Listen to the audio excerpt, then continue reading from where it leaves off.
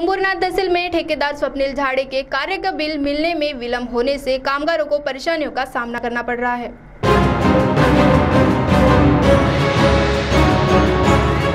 ग्रामीण भाग में ठेकेदार के समाज भवन भोजन कक्ष तथा अन्य इमारत का निर्माण कार्य यदुभर शुरू होने से लॉकडाउन के दरमियान स्थानिक मजदूरों को रोज़गार की संधि उपलब्ध होने से मजदूरों को राहत मिली है, जिसमें कार्यरत इंजीनियर तथा निर्माण कार्य ठेकेदार का बहुत बड़ा योगदान है। और इस कार्य की वजह से यहाँ की ग्रामीण जनता ने भी समाधान व्यक्त किया है। मगर वही ठेकेदार का बिल अभी नहीं मिलने से ठेकेदार के साथ में अन्य लोगों में नाराज़गी का वातावरण छाया हुआ है। तो सुनिए इस संदर्भ में क्या जानकारी दी गई। सीटीवी के लिए हमारे विशेष प्रतिनिधि विकास शेड़मा की रिपोर्ट।